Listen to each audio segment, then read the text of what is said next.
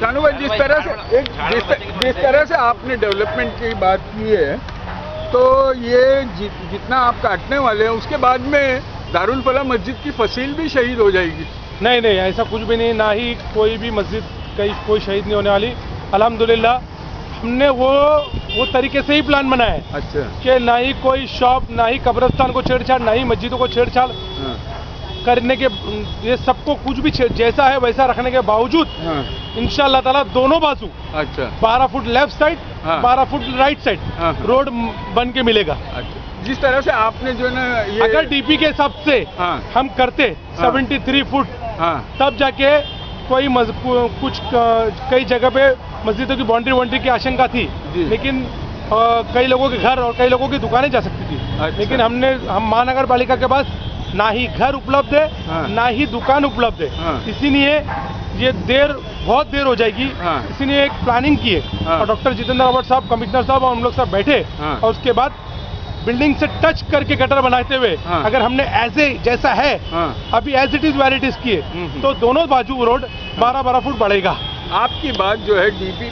DP plan को जिस तरह से आपने जो है कन्वर्ट कर दिया है इससे पहले तो वादा किया था टीएमसी ने कि जिग लेके जाएँगे किसी को नुकसान नहीं पहुंचाएँगे। जिगजैग ही हो रहा है ना?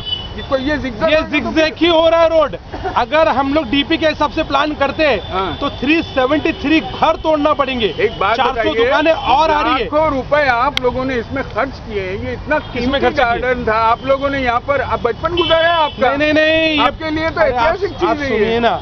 ये गार्डन है ना बहुत पुराना था आपके आपके आपको और इसमें वॉल ही वॉल ही का खर्चा था बाकी सारी चीज़ वैसे ही बन रही है हाँ। और गार्डन को सिर्फ़ 10 फुट अंदर लिया गया है अच्छा। बाकी जगह पे बच्चों को खेलने के लिए जगह मिलेगी अच्छा। और घास वाला गार्डन और मैदान हाँ। और शिवाजी नगर में हज़रत फखरुद्दीन शाह बाबा का बहुत खूबसूरत मैदान बन रहा है अच्छा। दो एकड़ का अच्छा लेकिन सबसे ज़्यादा ज़रूरी है हाँ। मुमरा कौसा की आबादी को देखते हुए नई पीढ़ी को देखते हुए नए मुमरा को बनाते हुए हमको मुमरा कौसा का मुख्य रोड बड़ा करना पड़ेगा। कल पे आप बोल रहे थे कि सपना पूरा करना है। सपना तो पूरा ही होगा ना। मुमरा हर हर मुमरा का मुमरा कौसा के नागरिक का सपना है। हाँ। मामले आमदार जितेंद्र अवार्ड सबका सपना है। हम चुने हुए नगर सब हम सबका सपना है कि खूबसूरत रोड मुमरा का बने हाँ। बिना लोगों को नुकसान पहुँचाए। हुए इससे पहले जो शमशाद नगर में एक नाना नानी पार्क के लिए ज़मीन जो है ना मुख्तस की गई थी वो भी डूब गई है वहाँ आजकल गैरेज खुला है पार्किंग है मेरा कहने का मकसद कैसा है कि जो गार्डन की जगह है जो गार्डन है उसको बनाना चाहिए अभी मुख्य रोड में कोई भी चीज़ अड़चन आ रही है अच्छा। मेरा भी घर और अगर मेरी भी बाउंड्री आ रही है हम्म। तो उसे लोगों को नहीं हमें दे देना चाहिए हाँ। अब अब मुमरा कौसा को बड़े रोडों की ज़रूरत है अच्छा। 92 का मुमरा अलग था हाँ जिसमें लोग एक लाख लोग रहते थे हाँ।